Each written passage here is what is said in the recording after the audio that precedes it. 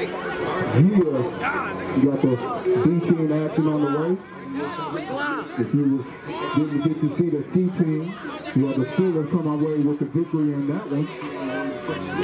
The D team, Rams came out with the victory in the 6U.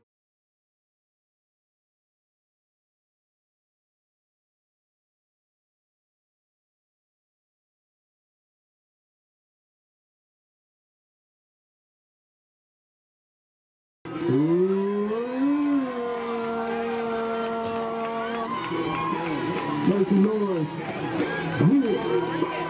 Shout out to my guy Brother Chuck. Natty Jack over there. What up, boys?